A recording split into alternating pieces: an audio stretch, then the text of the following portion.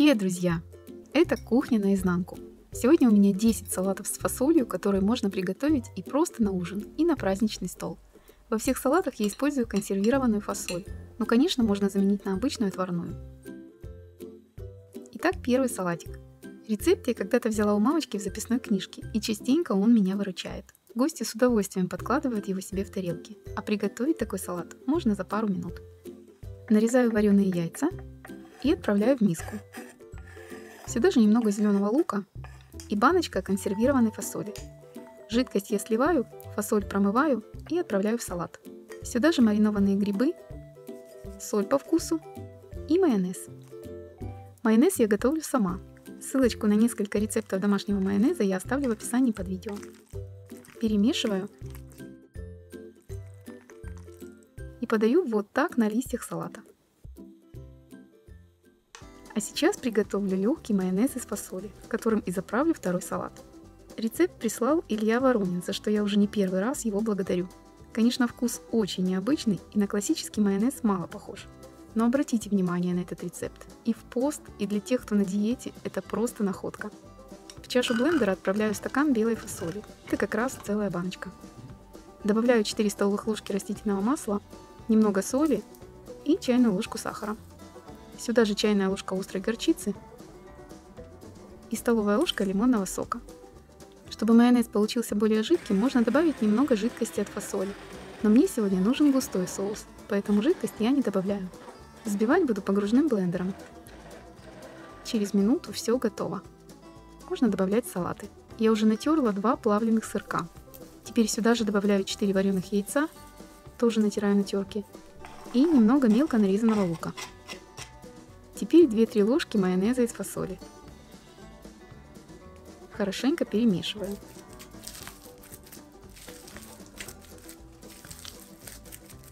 Подаю такой салат обычно на греночках.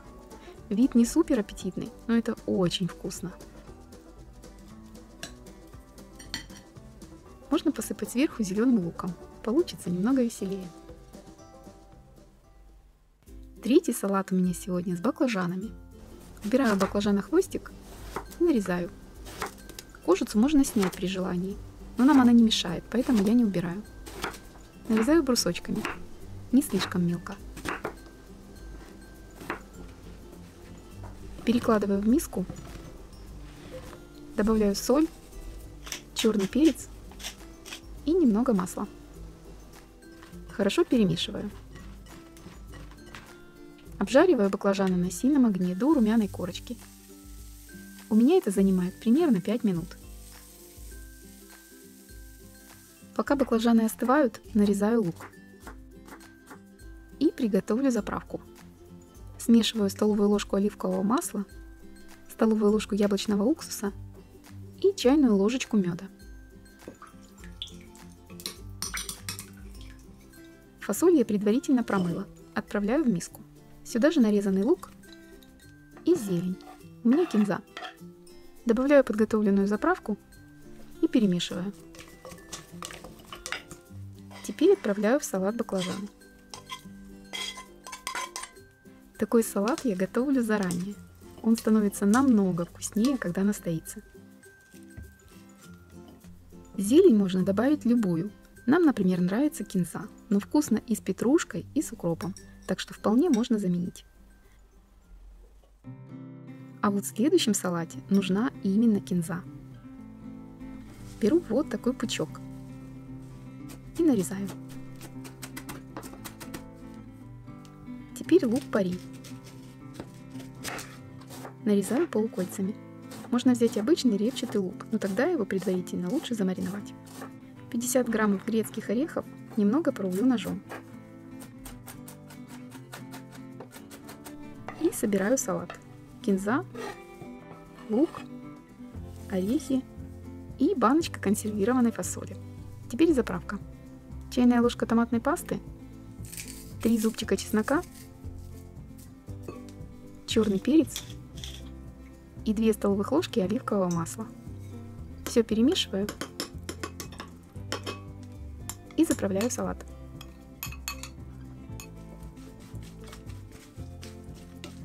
В самом конце солю. и даю салату настояться хотя бы пару часов в холодильнике. Подаю такой салат к мясу. Пикантный и очень ароматный.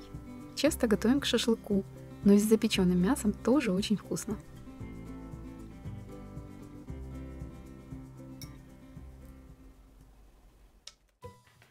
Салат я уже когда-то показывала. Рецепт придумался случайно, когда к нам неожиданно пришли гости. В холодильнике у меня тогда стояло только две баночки, консервированная фасоль и оливки. Добавила маринованного лука, орешков, зелени. Получилась отличная закуска. Так и назвала его «две баночки».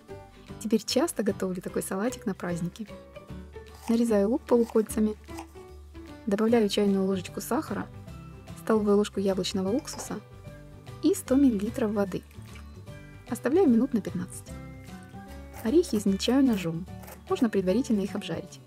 Нарезаю петрушку и собираю салат. С фасоли сливаю жидкость и промываю. Добавляю оливки. Лук отцеживаю через сито и отправляю тоже в салат. Сюда же один зубчик чеснока, орехи и зелень. Солю и добавляю оливковое масло. Осталось перемешать и поставить на стол. Попробуйте приготовить. Казалось бы, ничего особенного, но празднично и вкусно. Можно подать такой салатик порционно. А следующий салат готовится еще проще. Просто соединяю три вида фасоли и заправляю. Три баночки. Да, можно и так назвать. Вначале заправка. 2-3 столовых ложки масла. Я беру оливковое, но и любое другое подойдет. Сюда же 2 чайных ложки яблочного уксуса – или лимонного сока и 2 чайных ложки горчицы. Я беру в зернах. Добавляю мелко нарезанный зеленый лук и перемешиваю. В миске соединяю красную фасоль, белую и тонкую зеленую фасоль. Ее можно немного измельчить. Заправляю салат. Готово. Такой салат вкуснее, когда настоится. Подаю к мясу и к запеченным овощам. Но можно приготовить заправку немного по-другому. Смешать лимонный сок, оливковое масло, измельченную мяту и черный перец. Получится очень вкусный салат к рыбным блюдам. Ну и как же без селедки? Под моим предыдущим видео, где я показывала необычные салаты с селедкой, мне много раз в комментариях советовали попробовать салат с селедкой и фасолью. Ссылочку на это видео я оставлю в описании. Я, конечно же, попробовала. И получилось не менее вкусно, чем с зеленым горошком. Поэтому смело рекомендую, если вдруг для вас этот салат окажется новым. Вначале замариную лук, немного соли, пол чайной ложечки сахара и 2 чайных ложки уксуса. Я снова использую яблочный, но можно любой, конечно. Добавляю 100 мл воды и оставляю на 15 минут. Собираю салат. Паночка консервированной фасоли, кусочки селедки, я заранее ее подготовила, маринованный лук, жидкость я, конечно, слила, и зелень петрушки. Заправляю ароматным маслом и перемешиваю.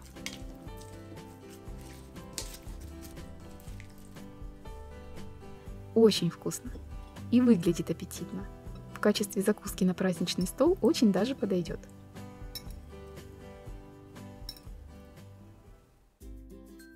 А следующий салат я точно буду готовить на новогодний стол. Это салат белый. Рецепт еще год назад мне прислала Лёля Я, и я наконец-то его попробовала. Это очень вкусно и просто. Обычно для салатов я куриное филе запекаю, так нам нравится больше, но конечно можно просто отварить. Вчера на ужин я запекала филе индейки и кусочек оставила для салата. Филе я предварительно мою, выкладываю в миску и добавляю специи. Немного соли сюда же и пару ложек оливкового масла. Хорошо все перемешиваю, чтобы масло и специи распределились. И оставляю так примерно на полчаса. Затем выкладываю кусочки мяса на фольгу делаю бортики и немного прикрываю фольгой сверху. Так и мясо не высохнет, и духовка останется чистой. Ставлю в разогретую до 200 градусов духовку на 30 минут. Вот этот кусочек возьму для салата. Конечно, предварительно я его остудила. Нарезаю на небольшие кусочки и выкладываю в миску. Теперь грибы. Я взяла резанные шампиньоны в собственном соку. Банка 400 грамм. И такая же банка белой консервированной фасоли. Жидкость я слила и фасоль промыла. Заправляю майонезом. Если не любите майонез, посмотрите по ссылочке в описании рецепт моей любимой заправки вместо майонеза.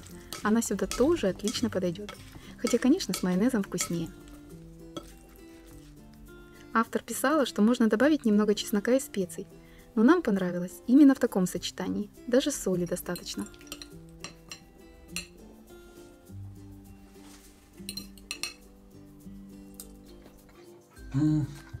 Вкусно.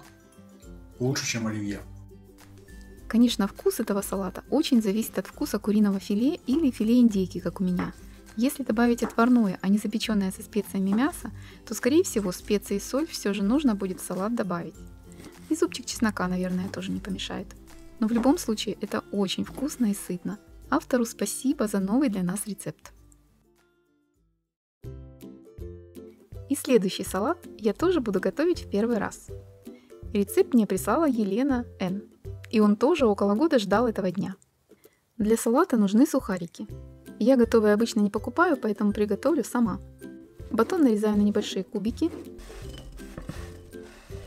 Добавляю ароматные травы, соль и немного масла. Перемешиваю. Выкладываю на противень и ставлю в разогретую до 180 градусов духовку на 10 минут. А ты читала рецепт? Сухарики нужны со вкусом паприки, запятая, томата. Не дочитала. Надеюсь, сильно на вкус не повлияет. Хотя, конечно, в рецепте важна каждая мелочь. Следи за мной. Слежу. Нарезай помидоры.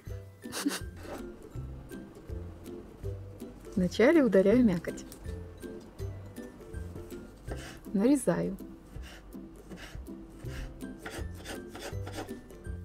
Теперь маринованные огурцы. Примерно так же.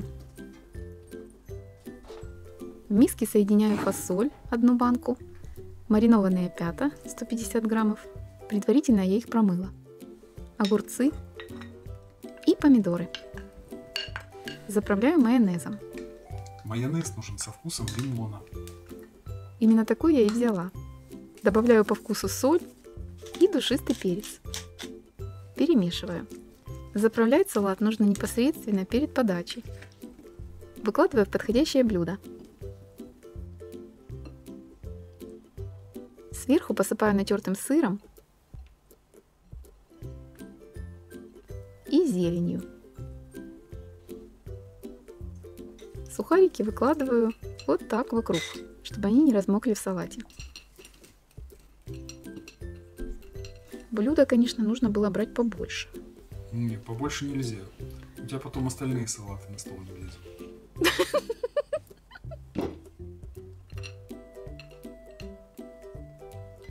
Пробуем.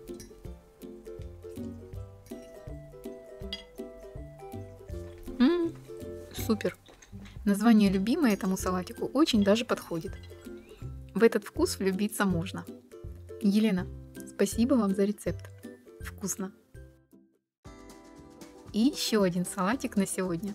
Надеюсь, я вас не сильно утомила.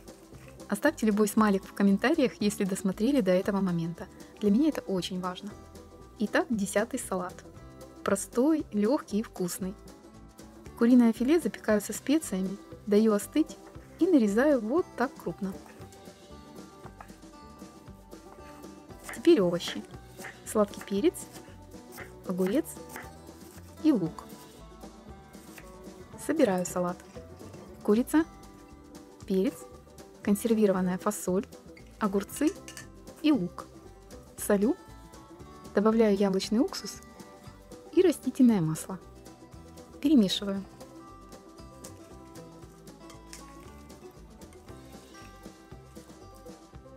Салатик готов.